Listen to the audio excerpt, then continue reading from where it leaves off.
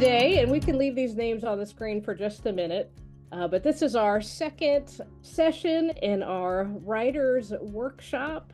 And so thank you all for being with us again. Last week, we spent a good portion of our time talking about pursuing fruitfulness in the training.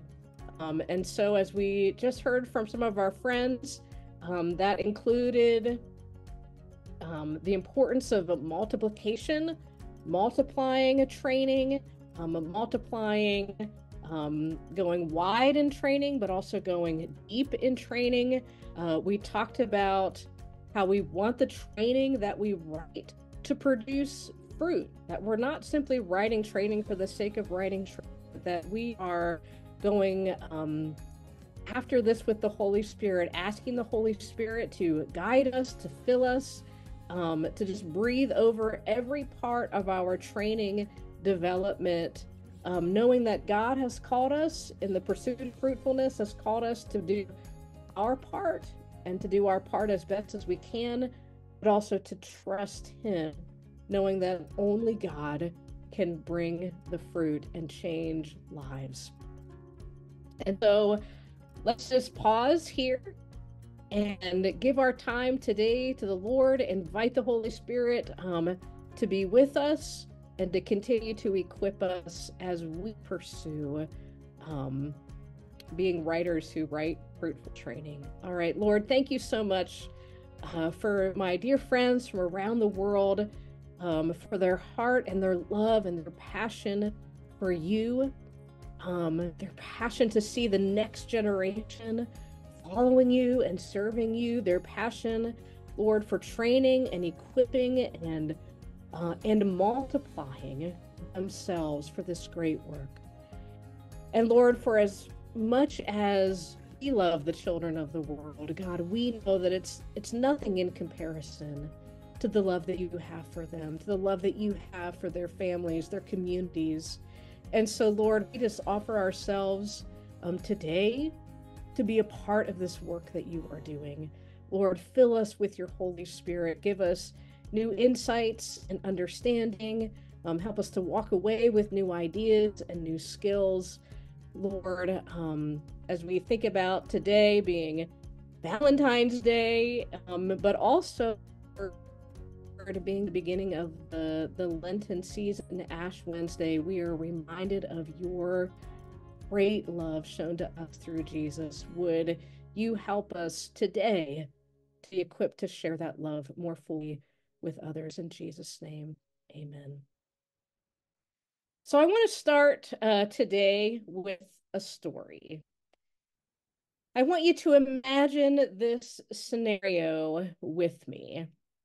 So, a trainer is invited by a local church to lead a training on youth ministry.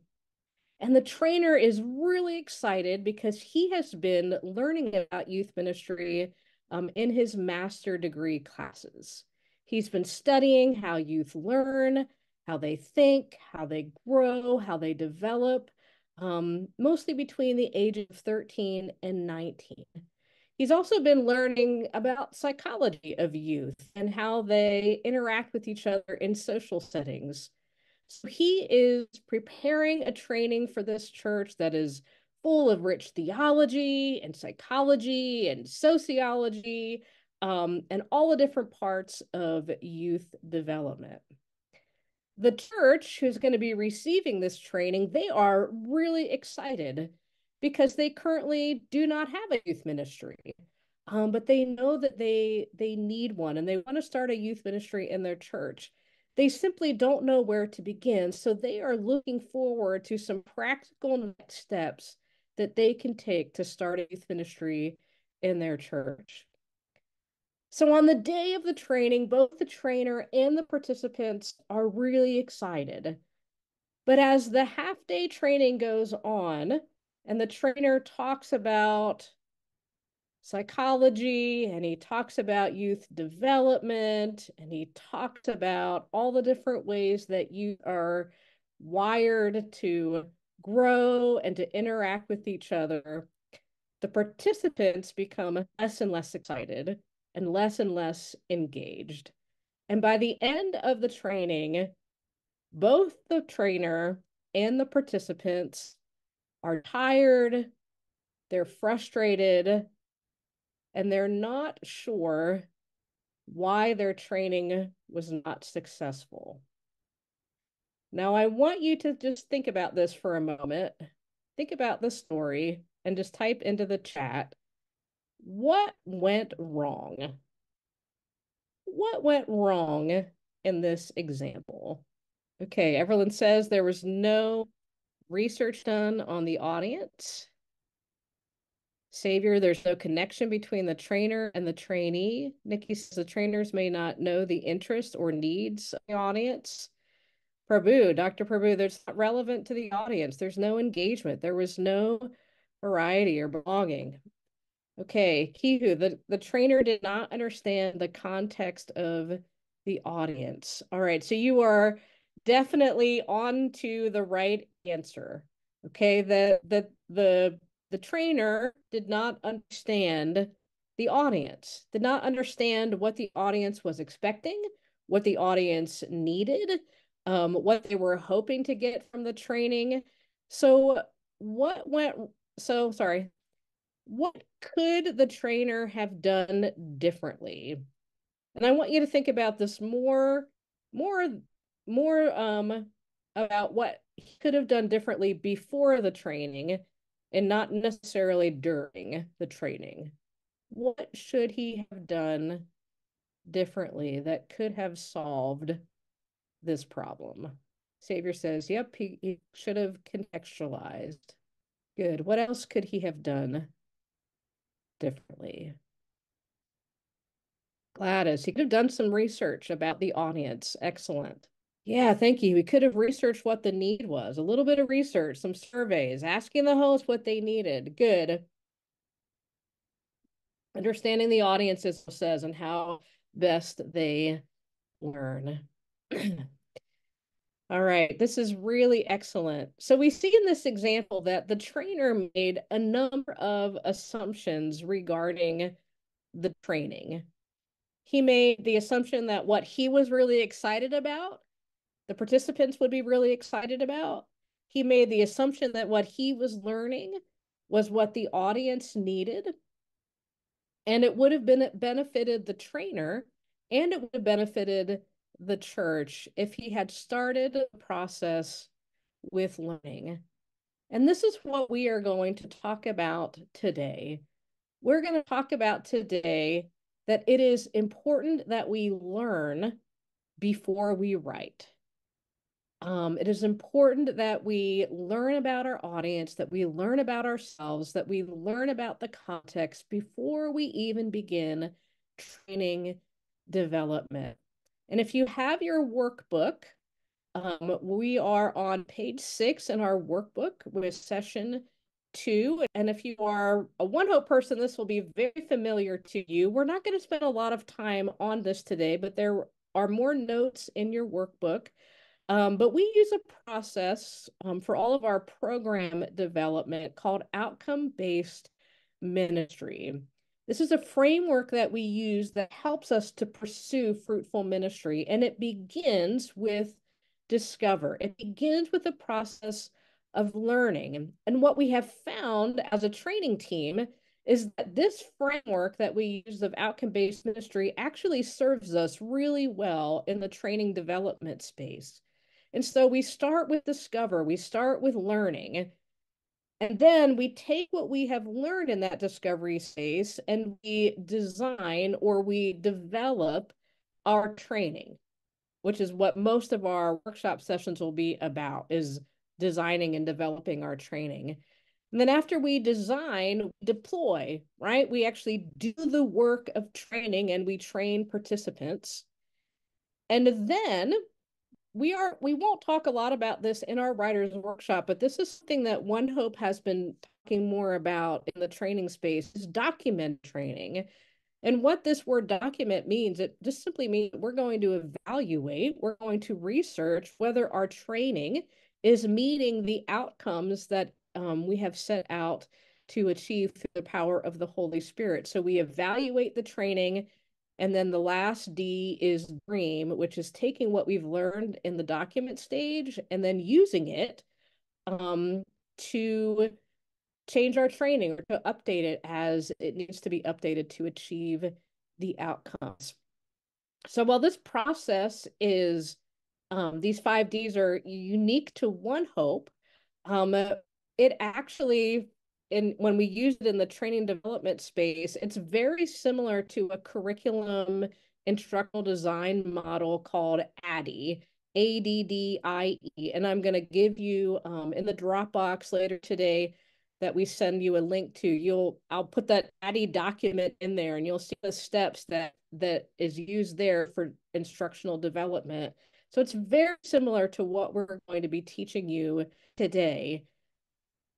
And one thing that we just need to kind of do as we begin this process is just to posture our hearts.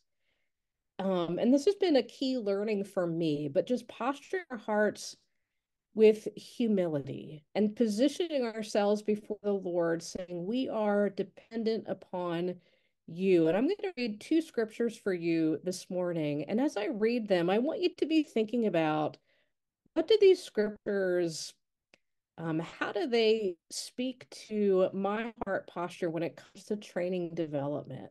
What does humility mean when we're writing training? But the first is from Proverbs 11, verse 2, and it says, When pride comes, then comes disgrace, but with humility comes wisdom.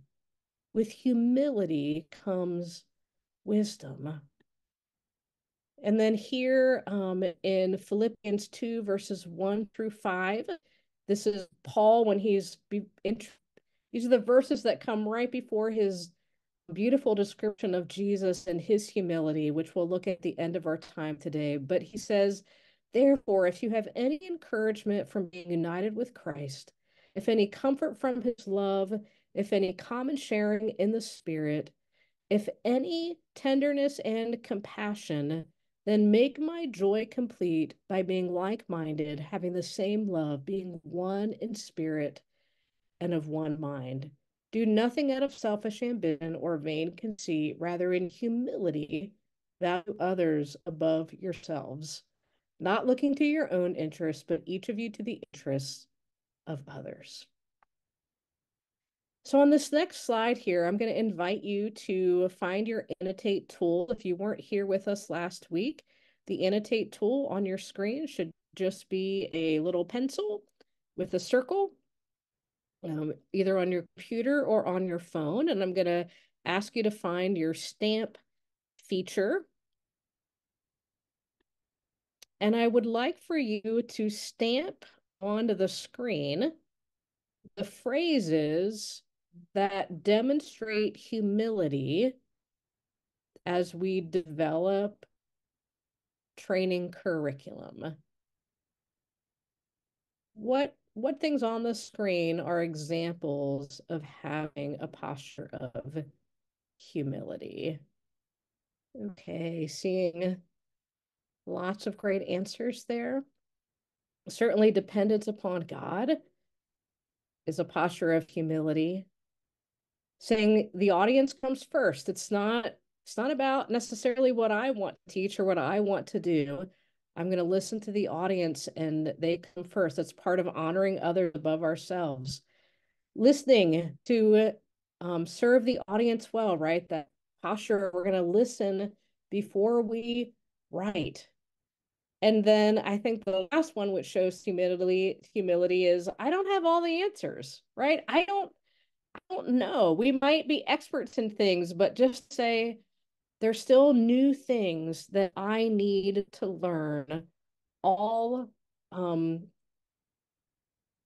demonstrate a reliance upon God and a posture of humility. And what humility does, and we can go ahead and stop annotating and clear the screen. What humility does is that it leads us to learn because when we say we don't have all the answers, when we say we need to understand our audience, it moves us to discover.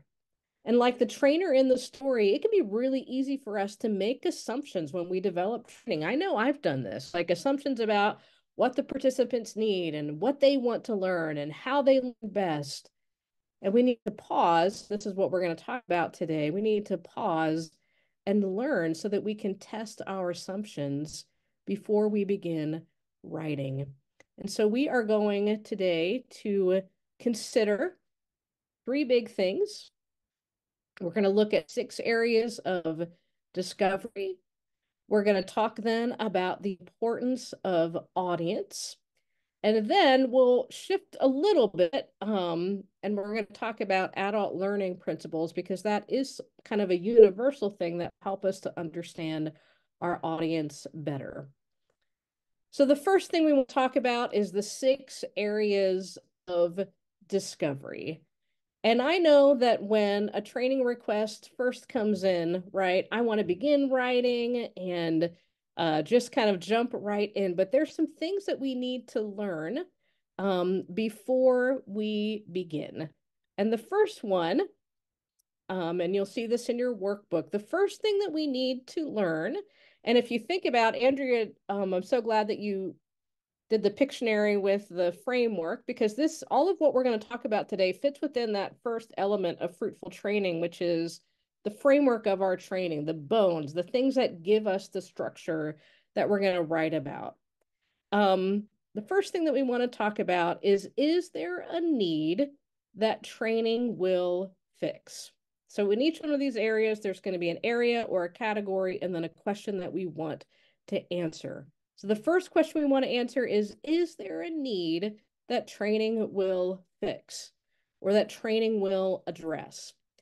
Think about the different trainings that you have in your region. Just think about one training, and it doesn't have to be one hope or one for 50, it can be, but a training that is that is used a lot in your region. And just type into the chat, what need does that training seek to address?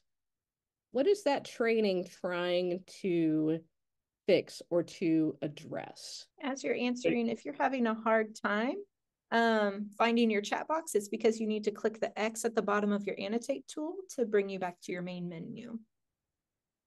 Thank you, Andrea. Appreciate that. So we have lack of skills and capacity to reach and disciple children. Nancy said the skills that are desired change the way that we teach, Prabhu says. We are equipping church leaders in person uh, communication. There's a discipleship need.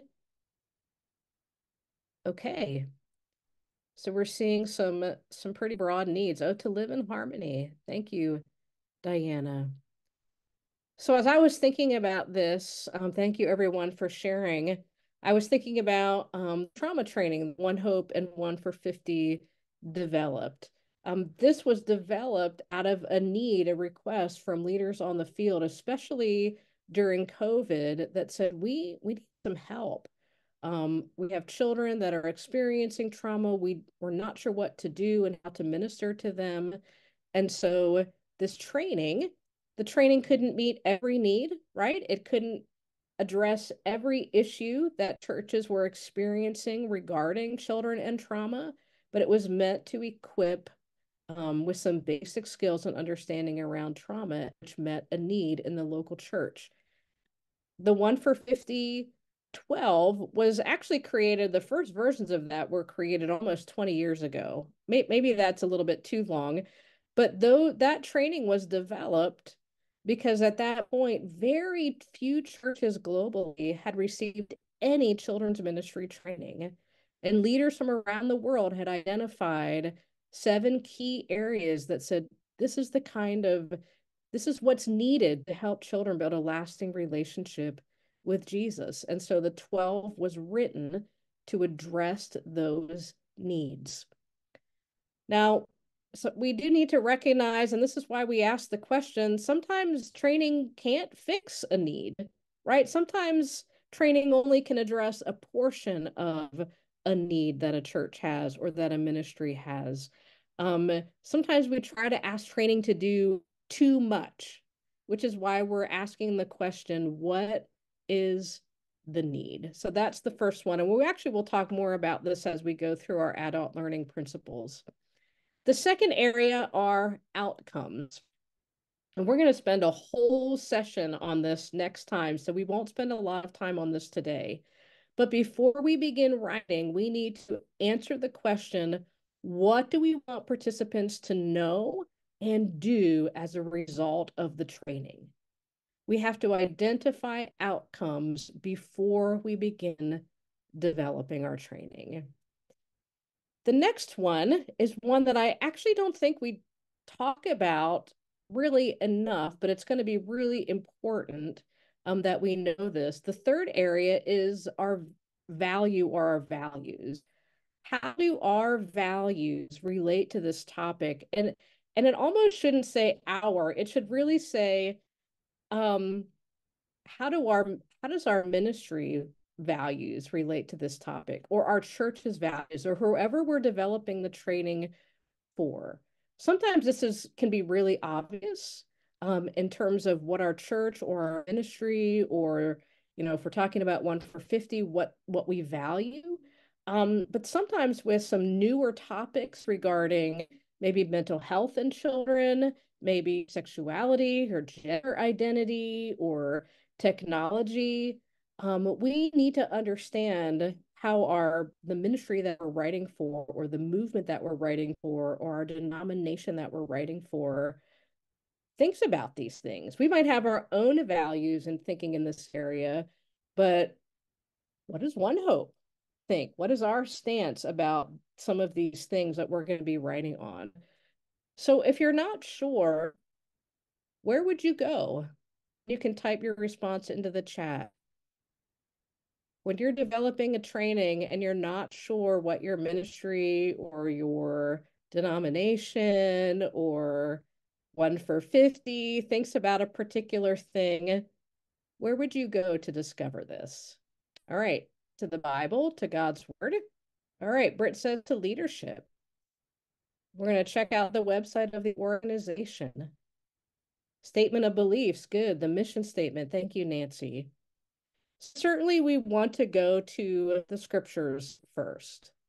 Andrew says the core value statements or the organizational DNA, the vision of the organization.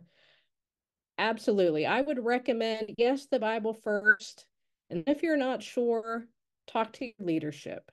So for one for 50, go to the leadership team and have them um, share we think about this particular issue? How do we want to talk about this particular issue in our training? If it's One Hope, we got lots of white papers that have been written. We can um, that have been reviewed by our leadership. We can talk to our GVPs. We can talk to our theologians um, to have um, just an understanding of how we want to talk about these issues that we are um, developing our training on. The fourth category is our delivery method. So before we want to, we write our training, we need to know how is our training going to be delivered? What delivery method will we choose for the training? So as you think about training, um, it used to be years ago that the only option that we had for training was in-person training, face-to-face being in the same room with one another. But now we have more options than that. So, what are some of the delivery methods that we have to choose from um, in terms of how training can be delivered today? And again, you can type your responses into the chat. All right, we've got social media can be a place where we deliver training Good. Thank you, Christian. Videos. Britt says online course. We have in person, online, Zoom. Excellent. Lots of different choices on today, and still including our live training, our in person training. Yeah, Israel says we have WhatsApp. We can do micro video trainings.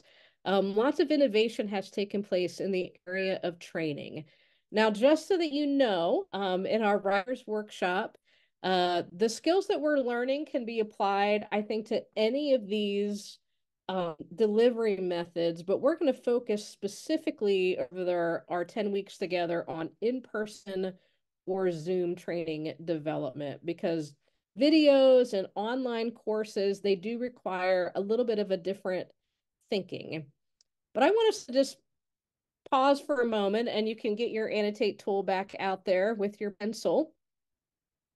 And I want you uh, to consider what are some of the things that will impact how you choose your training delivery method.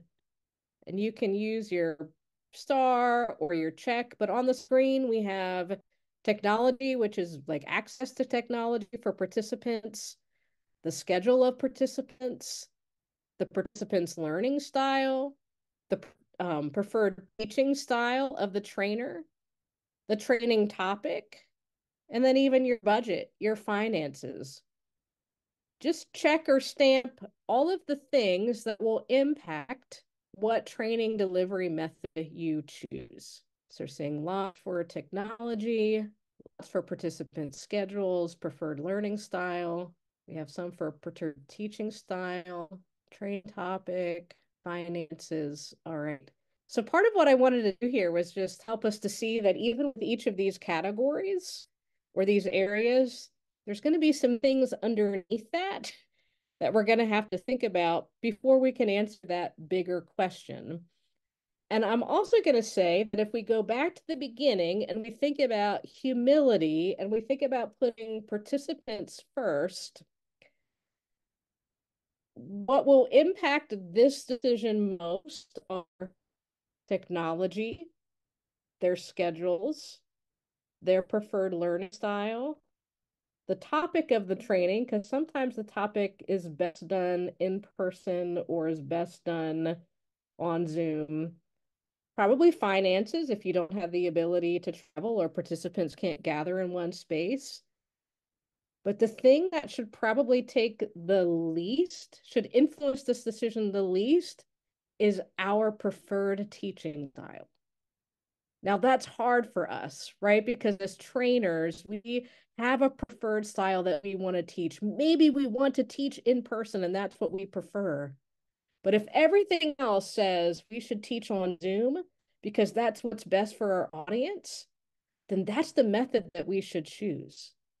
If we prefer, because our skill set and our love and our passion is micro training and doing small videos, but if everything else says no, in person training would be best for this, then that's what we should choose. So we do have to just consider what our audience, how they're best going to be served in this. Thank you, Andrea.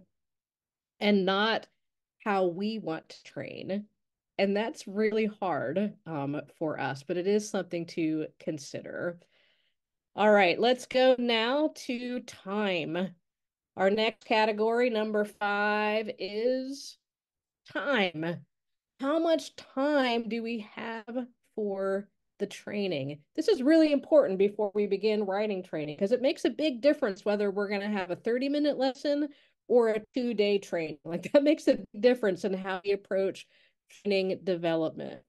So, similar to training delivery method, you can X out of your annotate tool and type in the chat, what are the things that impact how much time you will allot for training? How do you decide whether your training is going to be an hour or a half day or three days or five days? How do you make those decisions? The availability of the audience, Israel says, Nancy, and their schedule, the outcomes the content. All right, Edmund, how much content do you have to deal with? What's the timing of the audience? The amount of content, the content, the activities, the outcome, the availability of participants. All right, Rhubarb, you got, I mean, if you look at all of these, thank you, Martha. We haven't even talked about language. All of these matter the cost matters, availability matters, content matters, location matters. We have to think about all of them and then hold them in tension and really sometimes it's just asking the Holy Spirit, like help us to know. Um, because we have content that we can fill for three days, but our participants have really full schedules. They can't come to a three-day training. What do we do? But we have to consider all of those things before we can even answer the question of how much time are we going to give to our training. And just so you know, we're going to talk more about how we consider all of these things and hold them intention next week. But this is just to like get us to start thinking in that space that all of these things work together. We have to consider all of them before we even begin developing our training.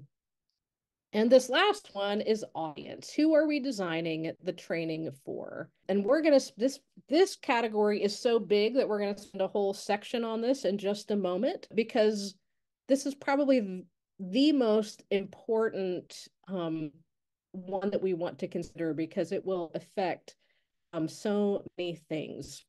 Now, before we talk more about the audience, we're going to do this activity, and I have no idea if this is going to work. So um, let's listen to my instructions. Okay, so we have our six areas here, six boxes with our icons that represent them. What I want to try to do is work together. So all of us working together to make sure that in each box we have the area that that icon represents and the question that we want to make sure that we answer. So if you see that the box is already filled, maybe go to another box. Um, but I want you to use your text annotate tool, which is that little T that you see. That'll give you a text box that you can type in and you can use your, your workbook notes. But let's see if we can populate or, or put in each of these six boxes the need and then the question and you can go ahead and start. And if it's a little bit messy, then it's a little bit messy and we're going to be okay with that. All right, good. I see delivery method is there. Good. Got the time. How much time? Excellent. I see values. All right, outcomes. All right, we got people or the audience. What do we want participants to know and do as a result of the training? Good for outcomes. All right, Excellent. I'm going to ask you to pause your annotation for just a moment. So we have need. Is there a need that training will fix? That was the first one. Then we have outcomes. What do we want participants to know and be able to do? Our values, right? How do our values relate to the topic? Delivery method. What delivery method will we choose?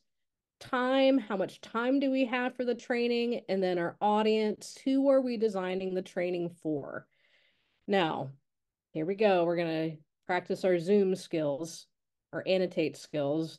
Now I want you to find your stamp tool, and I want you to stamp which one of these areas do you need to pay more attention to in the discovery process? Like, which one of these areas are you like, oh, really haven't thought enough about this in the past, and I need to think more about this as I move forward?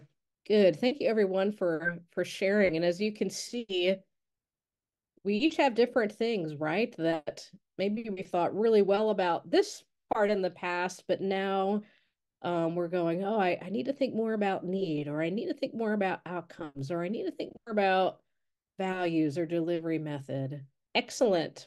So we are actually going in our workshop, we're going to be talking about each one of these things, um, not today, but as we go on um, and considering how we make these decisions um, as we develop training. But we are going to move on now to understanding the importance of audience. So I want to define audience really quickly um, our audience are the people that are going to be receiving the training. So that might be children's ministry leaders or pastors or youth ministry leaders or denominational reader leaders. It's the people who receive the training.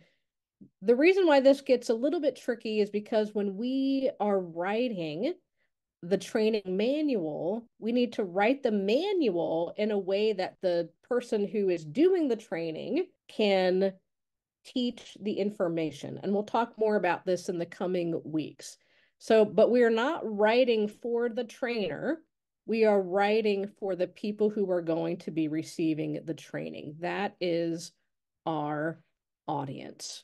And I've already pretty much given you the answer to that question, so we're not going to answer it together. But the audience informs so many different parts of our training.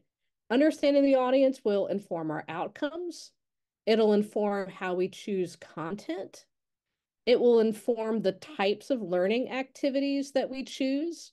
It's going to inform the examples and the stories that we use. As we already said, it's going to inform the length of our training and it's going to inform our training delivery method. Our audience basically is going to inform every aspect of our training. Every part of what we do in training and how we develop training is going to be informed by our audience, which means that the better we understand our audience, and their context and who they are and their roles and what they need, the better our training is going to be. And what I love is that we see this in the teaching and the example of Jesus. Like, let's just pause for a minute and just marvel at how masterful a teacher Jesus was. He taught with authority, he taught with purpose, he taught with truth, and he also taught with a very real understanding of who he was talking to and how to communicate truth in the best ways to them. So, in the chat, real um, quickly, we certainly can't do all of look at exhaustive ways that Jesus taught, but in the chat, how did Jesus teach in a way that kept his audience in mind? What are some of the things that Jesus did? He used parables. Thank you, Jezza. Stories that related. He did demonstrations. He contextualized his examples. He used questions. He used stories. He used practical examples and teachable moments and relative examples. Yes, Jesus did so many things, right? And you can continue to type your answers into the chat he used everyday objects, right, and locations. You uh, know, used the seed and he used the fig tree and he talked about fish and he talked about the farmer. He shared familiar stories and characters. You think about the parable of the Good Samaritan and the prodigal son and and so many things that Jesus said directly related and could be understood by the audience. He built on what they already knew. Think about the Sermon on the Mount. You've heard that it was said, you know, he's he's drawing their attention to what they already know, and then he's saying, "But I tell you, I'm going to tell you something new that builds on this." And Jesus knew their pain points.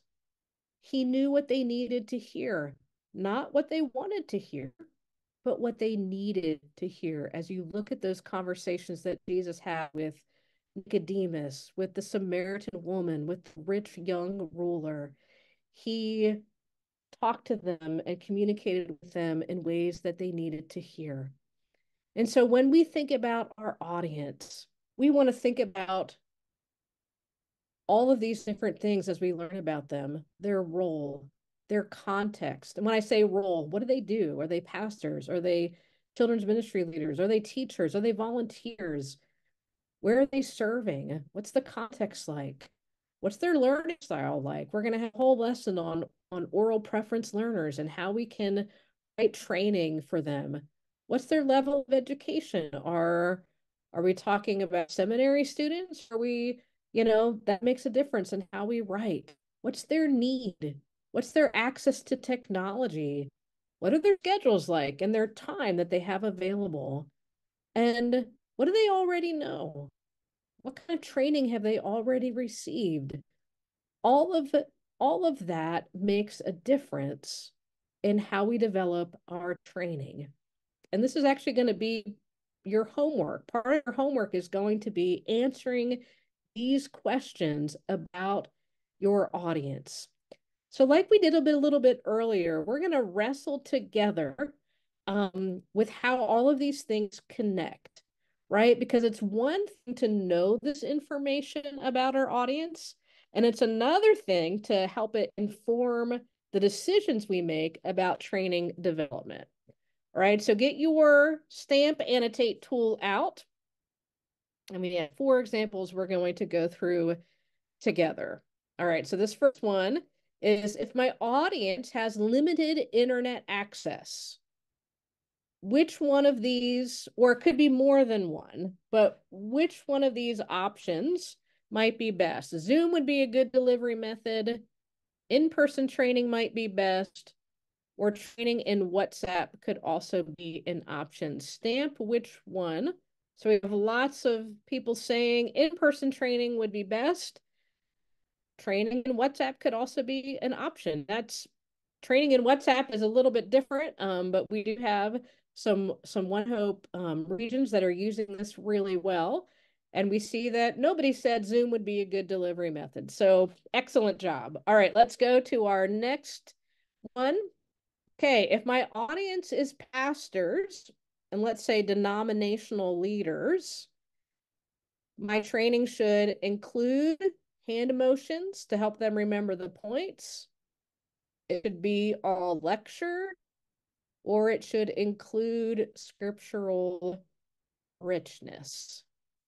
What do we think is best? And some of these right now, we might just be guessing, and that's okay because we haven't talked about this yet. But this is, I'm just giving you a little preview of what's to come and understanding our audience. All right, so if my audience is pastors and leaders, I would say the best answer here is that we want to include lots of scripture and scriptural richness in our training.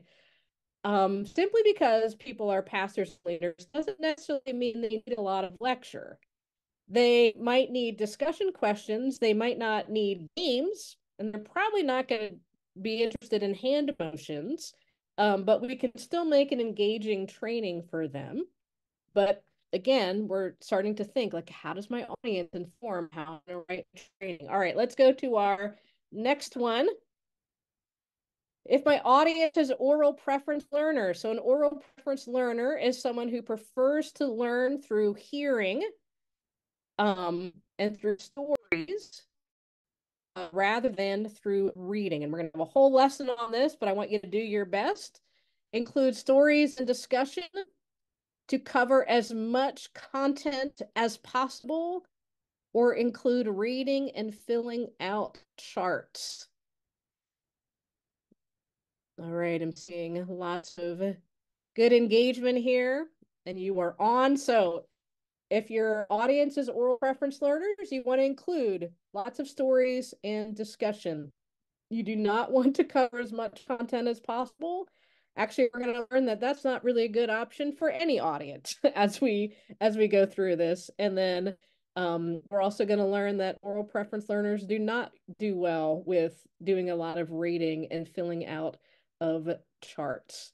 Um, then our last one here, and we already talked a little bit about time, but if my audience works during the day, so if they work during the day, during the week, what is going to be the best way to do this? Should we hold a two day training during the week? Should we do a 90 minute in person training in the evenings or offer an online course? Which option or options do we think are going to be best? So if you have an audience that is working during the day, it's probably not going to be the best option to hold a two day training during the week. They're going to struggle to attend that. So we have to think maybe I'll do a, a 90 minute training. Maybe we're going to offer an online course. All of these, and here's what's tricky about training development, and this is why we need the Holy Spirit is because we have to consider all of these things, right? Like we're not just thinking about schedule, we're not just thinking about learning style, and we're not just thinking about their role. We're thinking about all of those things and then considering all of those things together and saying, okay, now how does that impact the train that I'm going to develop? How is that going to impact the time? How is it going to impact my learning activities? And this is why we need the Holy Spirit. And this is why we'll talk more about this next week. But it also emphasizes the importance of learning about our audience. Because if we simply make assumptions and we guess about these things about our audience, then we're going to make some incorrect assumptions as we design and develop our training. So here is our next question is, how do we do this? How do we learn about our audience? How do we discover these things about ourselves? And so we're going to look at just real briefly some discovery tools. And what I will tell you is that each one of these tools, actually, we could do a whole training on each one of these. And so we're going to give you some additional resources in the follow-up email that you can look at that will help you as you use these things. But one thing that you can use, and many of you had already mentioned this, is doing some research with your audience. This could be doing some interviews or just having some conversations with members of your target audience. You might do surveys, um, which is just a simple questionnaire that you send out. You could even do a focus group, which is just gathering different representatives of your audience and having a conversation with them so that you can learn about their needs, about their about how they prefer to learn, about what are some of the challenges that they're facing in ministry. All of those things will help to inform how you develop your training. We also have for you um, in your workbook a sample intake form this intake form covers some of the things that as we as OneHope, as we're thinking about training, these are some of the questions that we're asking um, as we do our own discovery process.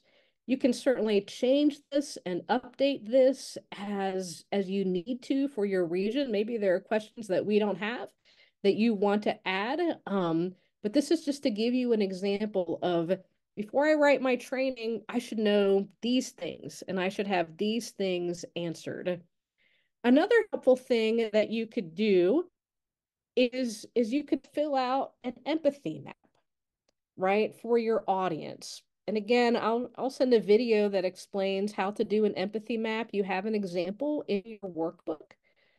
But an empathy map is simply saying, okay, this is my audience, and I am going to answer these questions. What are, what are they thinking and feeling in their daily life, in their ministry? What are their beliefs? What are the things that they're afraid of? What do they say and do? What do they see and hear? You're it's like you're putting yourself um, in their position, seeing the world the way that they see the world. That's kind of what an empathy map does. And it just gives us a picture of who they are so that we can go to our training and say, oh, if this is what my audience is facing and their frustrations and challenges and what they need and what they want, this will help me to develop my training, keeping them in mind. So we're going to give you a few moments. Um, we're going to divide you into breakout rooms. And in your breakout room, this is what I would like for you to do. But I'd love for you to talk together which of these tools have you used and found most helpful in your training discovery process? So, research, the intake form, and empathy map. Have you used them and which have you found to be most helpful? And then the second question is what else have you done? Or maybe some ideas for what you could do in this discovery stage that would be beneficial for others to know about that you could share in your group. Okay, Israel says exploring new topics, finding the relevant information, generating creative concepts, identifying potential solutions to problems. Good. All right, Dr. Prabhu, the the empathy form, good. The survey, um, the interview. Oh, Gladys, observing research. Yeah, empathy map, asking questions, doing a pre-visit.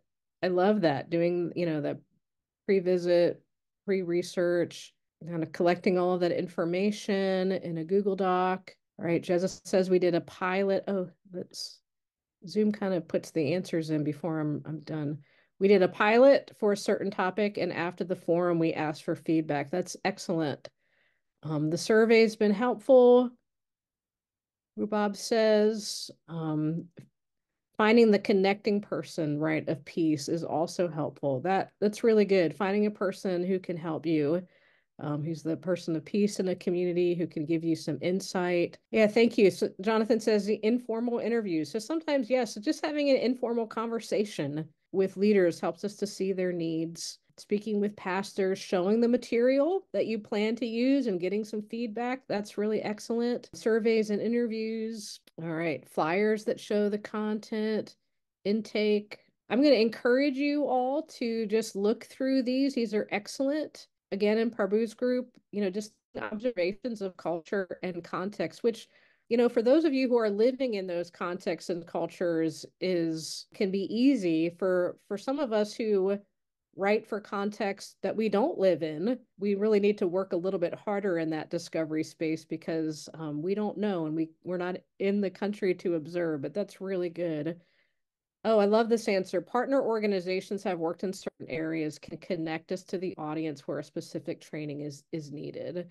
That's a really great answer. So also looking for who else is working in that region, who are people who are partners that we can talk to, who have a deeper understanding of that audience. This is really well done, everyone. Um, thank you for these fruitful discussions. Um, another thing that I can do here, if I remember, I'll save the chat and we can actually put, take some of these answers and also include them in a document that you can have if you're not able to capture all of them now. I'm going to say one more thing and then we're going to go on our break. As you can see, hopefully, this is something that I've had to learn is that discovery takes time, right? So if you need to write your training next week and you're doing discovery this week, um, we probably haven't built in enough time for discovery. So as you're thinking about your timeline for training development, um, and this will be a little bit different in the writer's workshop because we will only take a week for discovery, but we need to make sure that we are building in time in our timeline to do um, discovery and to do it well. That doesn't mean we need to spend six months in interview process or but we do need to make sure that we are building in enough time so that we can gather enough information um, to serve our audience well. We're going to move on now and we're going to talk about adult learning principles. The reason why we're putting this here in a discussion about audience is because for most of us, our audience will be adults. We may have teens or um, sometimes in our training, but we want to share with you some principles about adult learning. And, and then we're going to kind of, throughout our workshop sessions, we'll kind of keep coming back to these and pointing back to how these principles help to shape how we write training. But adult learning principles, this is really the, the science and the art of teaching adults because adults learn differently than children. And you'll see in your workbook at the end of this section, I gave you a number, I think maybe three links to different websites. There's lots of adult learning theories and principles. Um, I'm only going to share four with you today, but you can certainly learn more on your own about how these principles work and how they can shape our training. But I think it's important for us when we're, because many of us are writing training for people that are going to work with children and adults and sorry, children and and youth. However, the people that we're training are adults and they learn differently than children do. So on your screen, before we share the first principle, I want you to think about this and I get your annotate tool ready. I want you to remember the last time that you were in a training or you were attending a presentation, and at some point you realized this training, this presentation, it's not relevant to me. Like this, this information has no value to me. It's not important to my situation and my context. I want you to use your annotate tool and just check off what are some things that happened to you? Or how did this realization affect you? So when you realize a presentation isn't going to have value for you, do you leave? Do you watch videos on your phone? Are you like me and you start checking your email? Right? You lose energy. you're thinking, oh, this is this is a waste of my time. What are some things that happen when you realize? All right, so we're seeing a lot of, yep, I'm watching videos. I'm being real honest, I'm watching videos on my phone. Zoom makes it really easy to leave, right? If you're doing a presentation on Zoom, like just, oh, I'm ending and nobody really knows that I'm gone. You're multitasking. All right. So I just want you to look at this for a moment because very few of you say, I'm still listening well. Some of you, good job, you're still staying engaged. But I think for most of us, we, in our minds, we just check out of that presentation and we're doing other things.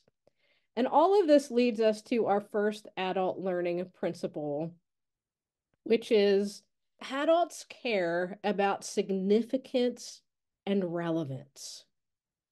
Adults must understand why they need to learn something. Because without understanding why something is important or why that learning is relevant, adults, as we've just seen, are going to quickly lose interest and disengage. So I want you uh, to just think about this and answer in the chat. How should caring about relevance impact our training development? So, if adults care about significance and relevance, how should that impact how we develop training? And you can um, close out of your annotate tool, click that little red X, and type your responses into the chat. Andrea says we should be solving a problem for them. Israel prepare content that's a direct need for their audience. We need to understand their need. Training should be engaging. Absolutely, Xavier. Then we should we should find out what they need. All right. Good. You're all grappling with this. So I think that yes, training should absolutely be engaging. But even if training is really engaging, but it's not on a topic that's relevant to our audience, they might stay engaged, but they're probably not going to use what they've learned. And we're going to find out why in just a moment. But many of you said we need to write about something that they need. We need to help them solve problems that they have in their ministry. So I'm going to share two things with you that I think are important. And, and we kind of need to hold these things in tension. So the first thing is that we need to choose topics that have value for our audience. So we've talked about this already, but sometimes we want to do a training on something that's important to us, right? It has value to us. And so we think it must have value to everyone. And sometimes that's true. But when we understand our audience and do discovery, we learn what has value to them. What are the challenges that they are facing? And so we want to write on topics that um, meet a need that the audience has. Here's the tension that we live in. The tension is that sometimes an audience doesn't always know what they need or they have a need but then underneath that is something that they don't even know that they need right because we don't know what we don't know so sometimes in our training what we have to do is we have to give them what they need and then we also have to um, maybe give them something underneath that need and i know that doesn't really make sense right now but it will a few weeks from now um, but we might have to do some advocacy for our topic at the beginning of the training that might be looking at the scripture or looking at research or helping our audience to see why this topic is important or why it's relevant. Might be that a church requests a training on how to teach Bible stories to children, right? That's a need that their leaders have that they need to they they want some more training on how to do that well. We might say, well, in order to teach Bible stories well to children, the audience needs to understand that the Bible teaches one big story. It's it teaches, you know, the story about about God's great love for us through Jesus.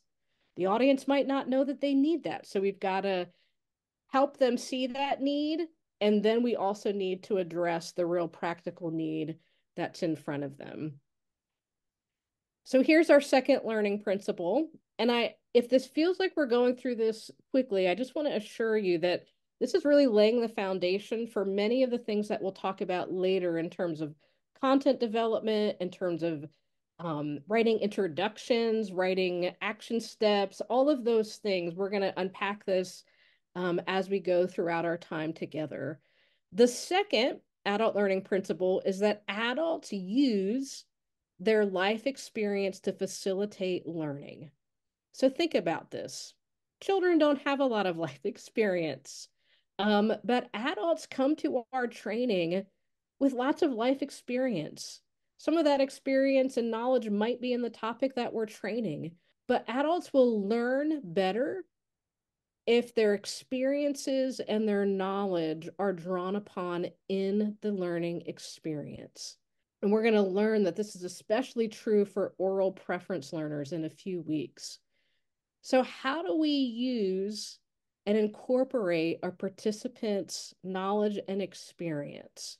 And as I go through these, I want you to be thinking about how have we already how have we been demonstrating this in the writers workshop?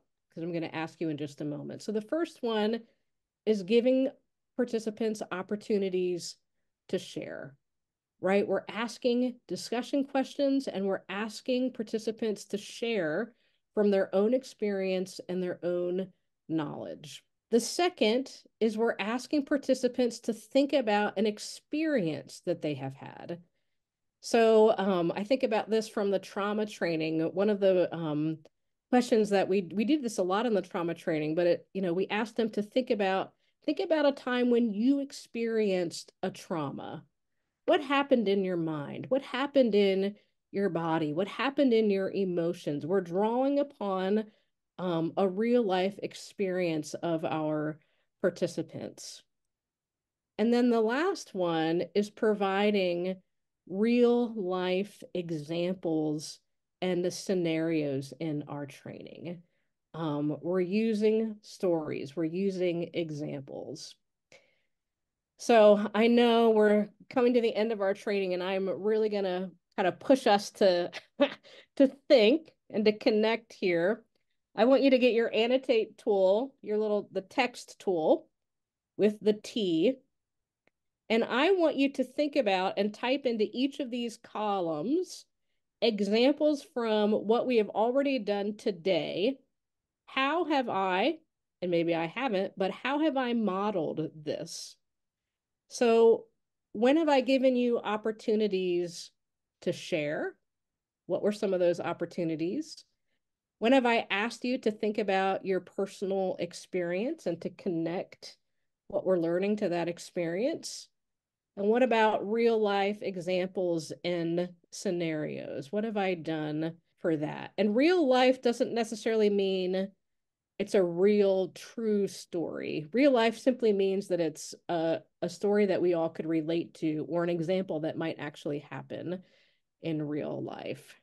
If you ever want to be sure that you're being intentional about how you develop your training, do an activity like this so that your um, participants, it really makes you think about, am I actually including this in my training? So I have given you some opportunities to share in how you've done um, research, uh, the feedback in your breakout rooms, you know, just some of the discussion questions that we have had in the chat, using the chat for answers.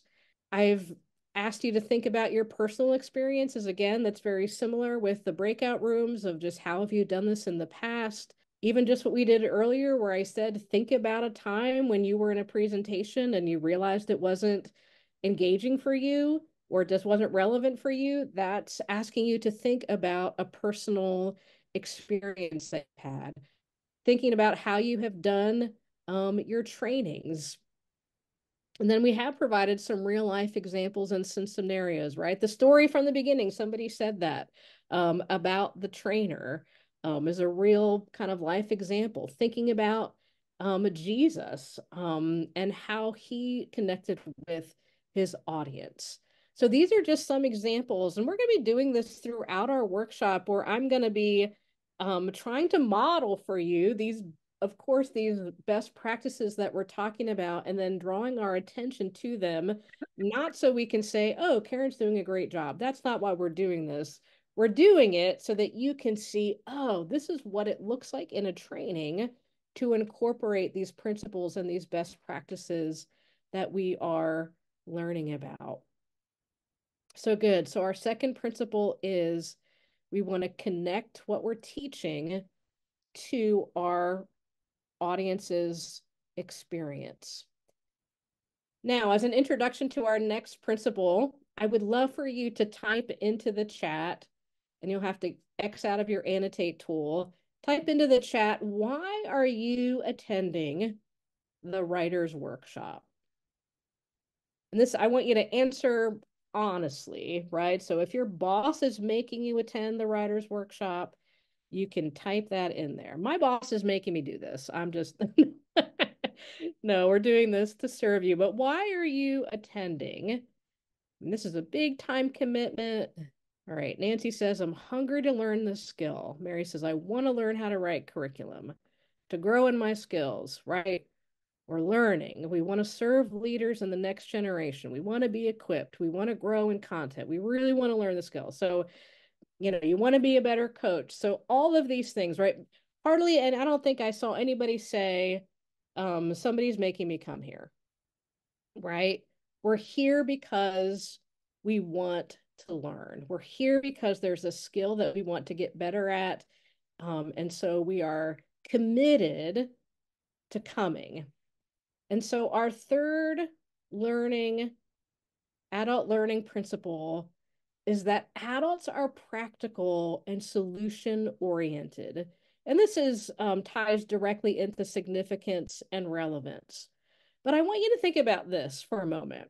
So in school, a child or a teenager, right, they're learning about a subject. They're learning about math. They're learning about science. They're learning about language, right? They're learning all of these things. And those things are not helping them learn how to be a better child or learn how to be a better teacher or a better teenager. Eventually, they're going to need those skills, right? But they're kind of learning for the sake of learning. They're not necessarily going, boy, I really need algebra right now. And so I need to make sure that I master algebra. It's very different. But adults adults are more ready to learn when there is a problem that we want to solve. So if there is an immediate problem that we want to solve, we are ready to learn about that thing. All right. So we're going to, again, use your annotate tool. And I want you to answer honestly. This is not a, there's something on the screen, so I need to stamp it. All right. I want you to think about this. If you had free time like your free time, fun time, I can do whatever I want. How many of you, and you can use your stamp tool, would use your free time to visit a medical website and learn about health issues? How many of you would say, you know what, I'm going to watch a video about different cell phones that are, you know, mobile phones that are available, and I'm going to learn about those things? I see it's, uh, I see some of your expressions like, I would not do that. Why are you bringing this up? And then how many of you would read a history book? I've got free time. And so I'm, I'm going to read about history. All right. Now, I'm not surprised by reading a history book. I'm very surprised um, and would love to talk with those of you who use your free time to watch a video about cell phones, because I think maybe you need some different hobbies. Uh, but you're being honest. So thank you for sharing that. All right. And some of you are like, yep, I'll go to a medical website, which I also find really interesting. All right, let's clear the screen. Now, I want you to think about this. Now, don't annotate yet. I want to explain what we're doing. How many of you would do those things if your child needed help with the history project? If your child needed help with the history project, would you read a book about history to help them? If you're sick and you want to know what your symptoms are or what you should do, how many of you would then go to a medical website to learn about your sickness? And then if you needed to buy a new cell phone or a new mobile phone, how many of you would then watch a video about cell phones? And you can go ahead and use your, probably best if you use your stamp tool. See lots of lines on the screen, but probably better if you use your stamp tool for this. Oh, oh, I see what you're doing. You're matching. Fine. If you if you're matching, that's you are ahead of me. But I just want us to think about this, right? When there's a need, we go to learn about the need. So if I need to fix something that's broken in my home and I don't want to pay someone to do it, that's when I go to YouTube and I'm I'm like, who can teach me how to fix this thing? But I don't go on YouTube just learning about home improvement projects in my free time. I go when I need to learn. Sorry, this slide is, is really cracking me up at the moment. All right. But all of this should help leads us to our next question, which is very similar to what we've talked about already. So I'm I'm just going to kind of maybe skip over this question. But how should this impact training development?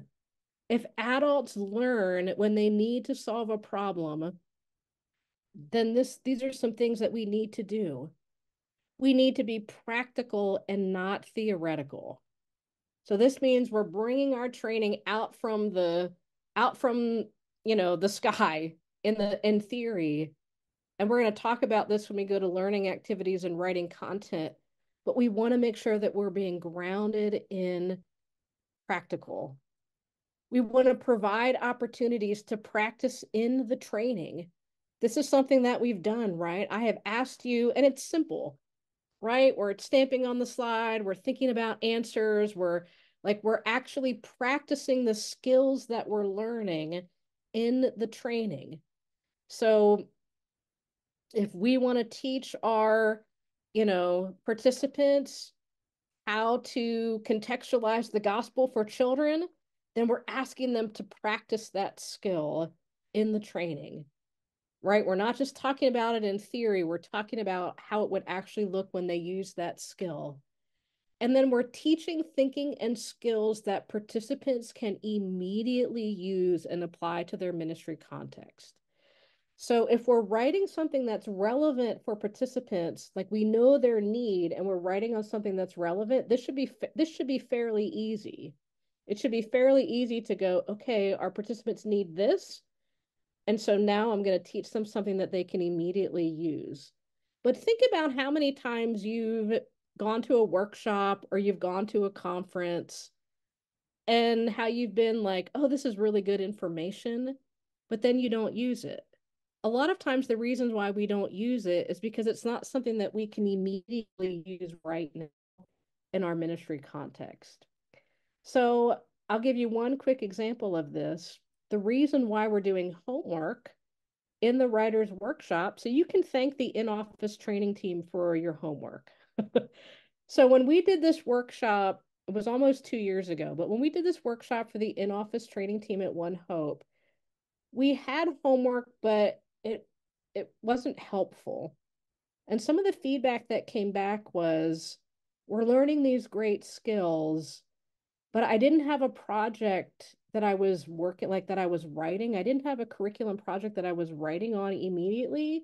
And so 5 months later when I had something to write, it was really hard for me to remember what I had learned 5 months ago. Like it would be really good if we could practice those skills immediately. So that's why we're having homework. The homework isn't just like we need one more thing to do. The homework is, oh, we're going to teach a skill and then we're going to use that skill immediately in our context. I'm not going to ask you how we've modeled this because I've already shared some of that. And then our last, sorry, I'm reading Andrea's comment. Sorry, yep, I did. I sold out the in-office training team. Um, but I think doing the homework will be really helpful for all of us. And so the last principle is adults are self-directed learners. Adults learn better when they are active contributors to their learning and have ownership of their learning journey. Now, this is a little bit, part of this is tricky for us because for many of us, we don't have the flexibility within our our region to say, okay, we have the, these three training, you know, topics, and we're going to offer th- all three simultaneously, and you get to choose which one is going to work best for you. That's that's usually not that this kind of works a little bit better. Part of this works better in an online um, a training experience, like an online course where participants can go in and say, oh, I really need this, and I really need this, and I really need this. And then they sign up for the courses that they want to take. However, there are some things that we can do in Zoom training and in person training to, I want to say, this is probably not the right wording, but to make participants kind of responsible for their own learning right? That facilitate them um, discovering things on their own. Um, so this is very different than lecture because in lecture, what we're doing is, is I'm just giving you all of the information and you're not really responsible to do anything except listen. But that's not how adults learn best. It might be how all of our institutions and educational systems are set up I know that's, you know, how I grew up learning, you know, very lecture oriented. However, we want to give participants the opportunity discover on their own, to be responsible for learning things on their own. So I want you, I think this will be the last time that we use our annotate tool, but get out your annotate tool. Thank you so much for participating with that. Um, it's it's super helpful, makes training, um, just gives it more variety. But I want you to check ways or stamp ways that we can help our adult participants be responsible for their own learning in our training. Okay, seeing lots of great, uh, great interaction here really the only one on the slide that's not helpful for having participants responsible for their own learning is lecturing. Now, I mean, you have noticed on our calls that there are times that I am giving you information, right? I am teaching you, I'm giving you things on the slide. Um, there are times where we have to do a little bit of teaching or a little bit of of lecture um, in our training. We do have to do that. How- Thank you. Somebody's putting that giant X over that. Excellent job. Um, but we want to incorporate some of these other things so that, you know, even providing handouts for note taking, like we provided you handouts, we're not asking you to take a lot of, you know, fill in the blanks, but I see that many of you are taking notes. You're being responsible for your own learning when we ask a question and participants are discussing it or they're drawing out truth from the scripture, they're being responsible for their own learning. We're not telling them what the scripture means. They're discussing it together and learning together.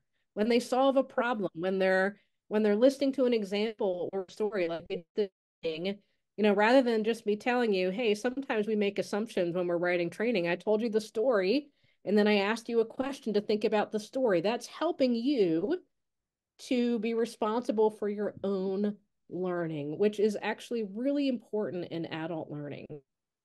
So let's go quickly. We're going to summarize this and then we're going to talk about our homework.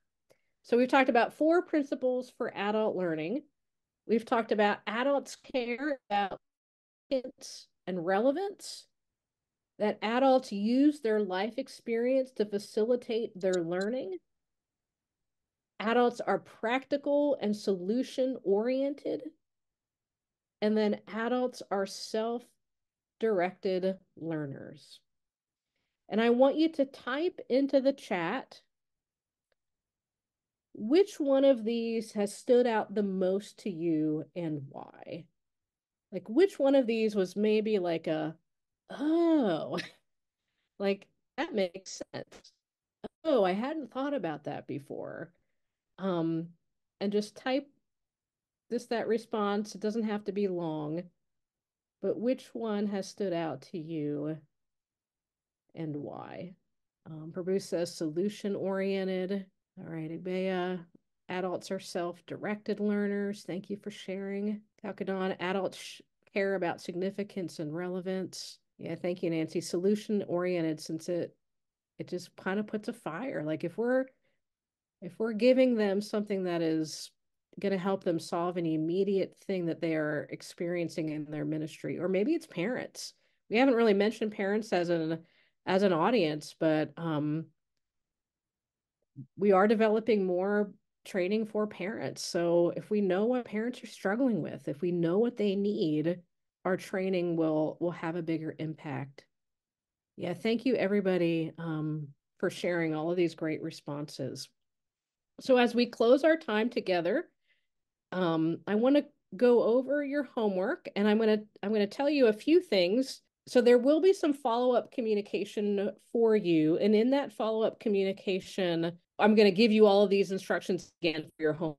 If you if you miss something, don't worry, it'll be it'll be written down for you. And I also want to tell you and for those of you who have worked with me, you know that this happens to me sometimes that um, I make a decision like three weeks ago about what we were going to do. And then I changed my mind as I looked at it because I thought, oh, this will be a better way. So the homework that you have listed in your workbook is going to be a little bit different this week and next week than what I'm actually going to give you. So I want you to follow the instructions that are going to be, I'm giving you now and in your email and just kind of ignore what's in your workbook. So the first thing that I'm going to ask you to do is that I want you to fill out the discovery form, and I'm going to show you what the form is and where you can find it in just a moment. And then the second thing I want you to do is to talk to somebody from your audience, at least one person, to ensure that your answers to the discovery form are accurate, right? So it goes back to what we talked about at the very beginning. We don't simply want to make assumptions we want to be sure that what we're putting down for our answers in discovery are really what um, our audience needs. So this means that we need to know our who our audience is. And I'm not again, we only have a week for this, so I'm not going to ask you to, you know, interview 10 people or put together a survey. You can do as much or as little as you want, but I would like you to at least talk to one person to make sure that you are um, having accurate information. Now I'm going to see if I can do this. Let's see if this will work. I think I'm in the wrong document, but I can get to the right one. Can someone give me a thumbs up or a thumbs down? Are you seeing the writer's workshop homework on my screen? All right, I see a thumbs up. So in the follow-up email, you are going to get a link that will take you to this Google folder in Google Docs. It is the Writer's Workshop homework.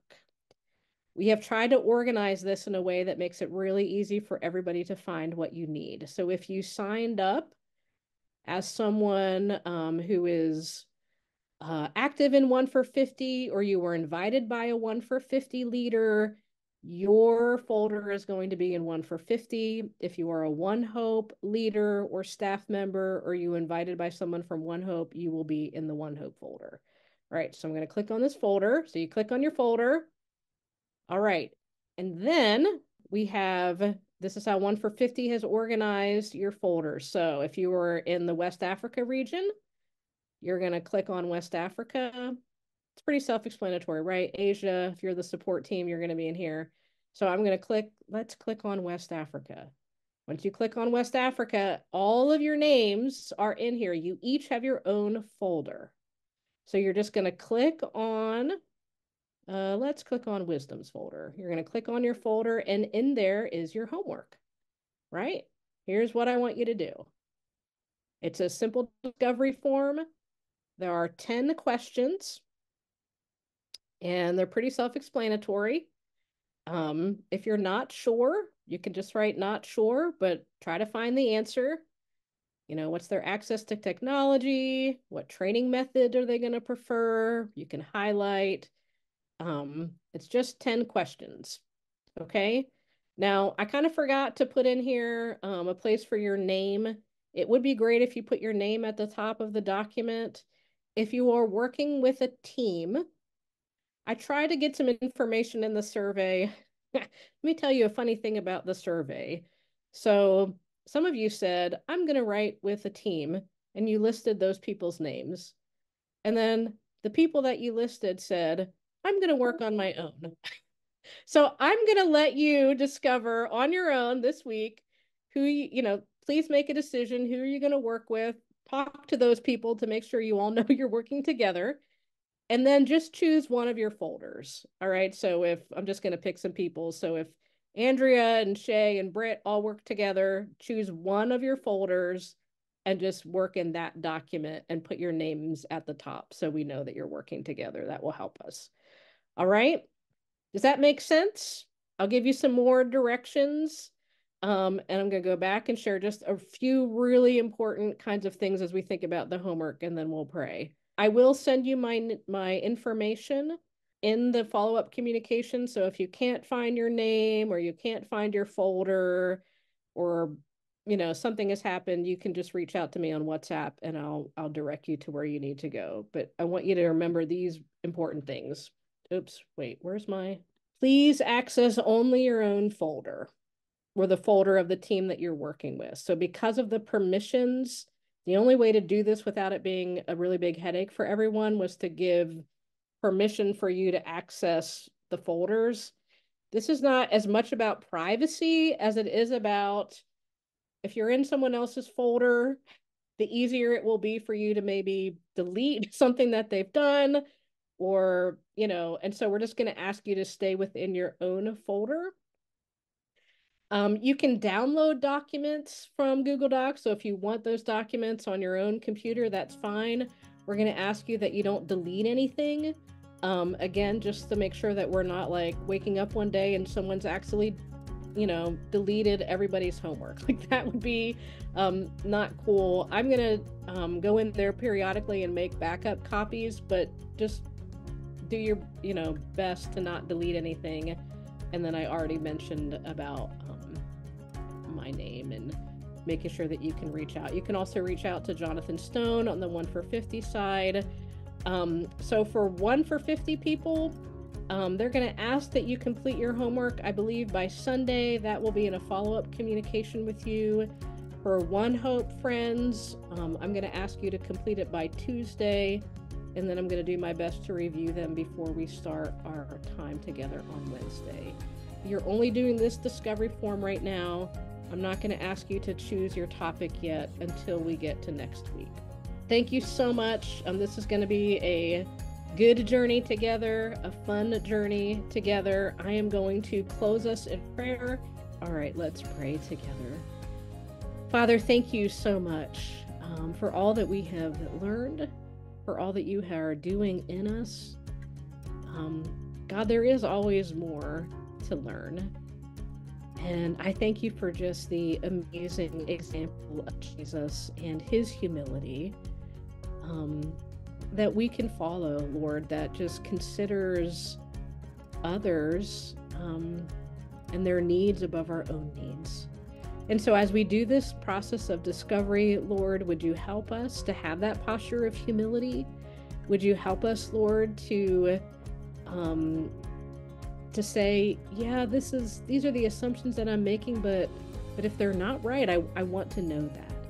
If this isn't the right direction i want to, i want to know that lord. Help us to be open to um, your leading. Help us to be open to hear um, from the men and women who are on the front lines of raising children as parents of teaching children of rescuing and rooting and releasing children for ministry all around the world lord we want to serve them well and we want to do that lord um, in a way that bears fruit for your kingdom. So, even in this, Lord, we invite you, we invite your Holy Spirit to work um, in this discovery process as we take this next step of developing training. Um, bless each of my dear friends today, Lord. Uh, may they know just how deeply loved they are by you. In Jesus' name, amen. Have a blessed day.